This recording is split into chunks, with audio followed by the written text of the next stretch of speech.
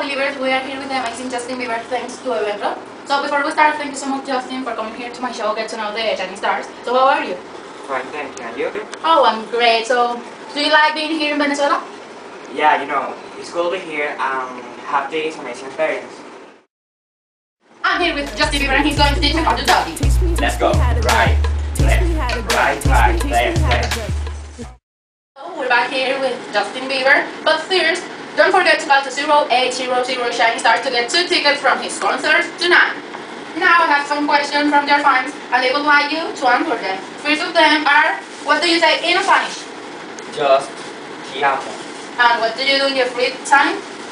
Spend time with family, friends, and sleep. If you could have any superpowers, which it would be? Fly. Oh, thank you so much for coming. Goodbye.